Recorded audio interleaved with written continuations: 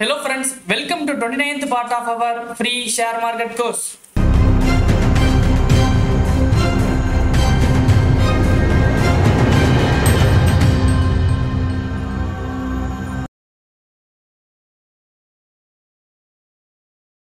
நீங்கள் நம்ம சேனலுக்கு இப்போ தான் ஃபஸ்ட் டைம் வரீங்கன்னா ஃப்ரீ ஷேர் மார்க்கெட் கோர்ஸோட கம்ப்ளீட் பார்ட் பை பார்ட் வீடியோஸை சேனல் பிளேலிஸ்ட்டில் ஒன் பை ஒன்னாக அப்லோட் பண்ணிட்டு வரேன் ஃபஸ்ட்டு பார்ட்லேருந்து பார்த்தீங்கன்னா நல்ல கிளாரிட்டி கிடைக்கும் ஷேர் மார்க்கெட்டுக்கு நீங்கள் புதுசுனா பெஸ்ட் ஷேர் ப்ரோக்கரை சூஸ் பண்ணுறதுல உங்களுக்கு டிஃபிகல்ட்டிஸ் இருந்துச்சுன்னா நான் பர்சனலாக ட்ரேடிங் அண்ட் இன்வெஸ்ட்மெண்ட்டுக்கு யூஸ் பண்ணுற அஃபிஷியல் லிங்க்கை வந்து டிஸ்கிரிப்ஷனில் கொடுத்துருக்கேன்.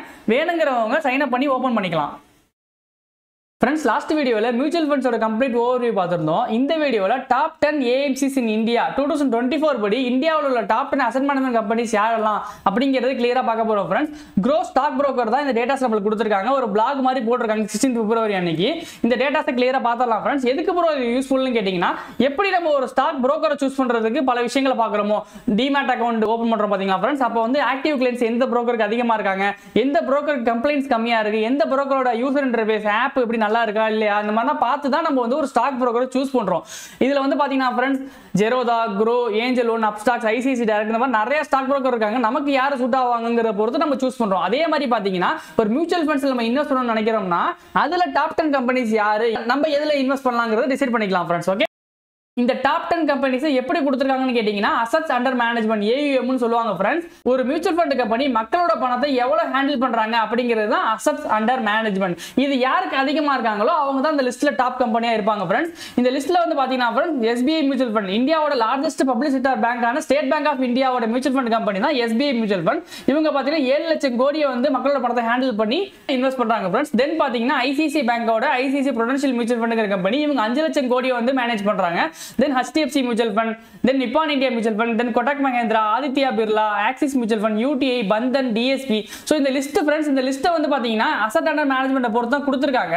இந்த டேட்டாஸ் இருக்கு பார்த்தீங்கன்னா ஏழு லட்சம் கோடி அஞ்சு லட்சம் கோடி நாலு லட்சம் கோடி இதெல்லாம் வந்து பார்த்தீங்கன்னா ஸ்டாட்டிக்கான டேட்டா கிடையாது. மார்ச் முப்பத்தி ஒன்று வரைக்கும் உள்ள நிலவரம் தான் ஃப்ரெண்ட்ஸ் இது.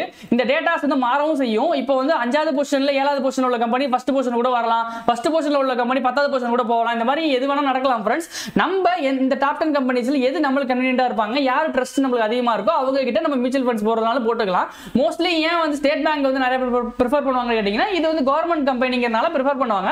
ஆனால் எந்த மியூச்சுவல் ஃபண்ட் கம்பெனியில் போட்டாலும் ஸ்டேட் பேங்காக இருந்தாலும் சரி இல்லை எந்த மியூச்சுவல் ஃபண்ட் கம்பெனியாக இருந்தாலும் சரி செபி ரெஜிஸ்டர்டாக இருக்காங்களான்னு பார்க்கணும் friends SEBI registered stock broker மாதிரி செபி ரெஜிஸ்டர்ட் மியூச்சுவல் ஃபண்ட் கம்பெனியாக தான் கண்டிப்பாக இருந்தாகணும். அந்த மாதிரி செபி ரெஜிஸ்டர் பண்ண மியூச்சுவல் ஃபண்ட் கம்பெனியாக இருந்துட்டாலே நம்ம எதில் போட்டாலும் ரிஸ்க் கொஞ்சம் கம்மி தான் ஃப்ரெண்ட்ஸ் ஏன்னா எடுத்துட்டு அப்படியே ஓடிட முடியாது.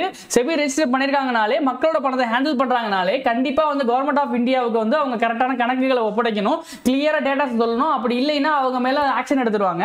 ஸோ இந்த மாதிரி பார்த்தீங்கன்னா ஃப்ரெண்ட்ஸ் லிஸ்ட் ஆஃப் கம்பெனிஸ் இருக்கு. ஸ்டேட் பேங்க் ஆஃப் இந்தியாவோட மியூச்சுவல் ஃபண்ட் ஏழு லட்சம் கோடி இப்போதைக்கு மேனேஜ் பண்ணி அவங்க நம்பர் ஒன் பொசிஷன் இருக்காங்க ஃப்ரெண்ட்ஸ் நம்ம ஆல்ரெடி ப்ரீவியஸ் வீடியோஸ்ல டைப்ஸ் ஆஃப் மியூச்சுவல் ஃபண்ட் வந்து பார்த்துருக்கோம் ஃப்ரெண்ட்ஸ் அதில் வந்து பார்த்தீங்கன்னா ஈக்விட்டி ஃபண்ட் டெப்த் ஃபண்ட் இதெல்லாம் பார்த்துருக்கோம். இந்த ஈக்விட்டி ஃபண்ட்லேயே பல சப் கேட்டகரிஸ் இருக்கு.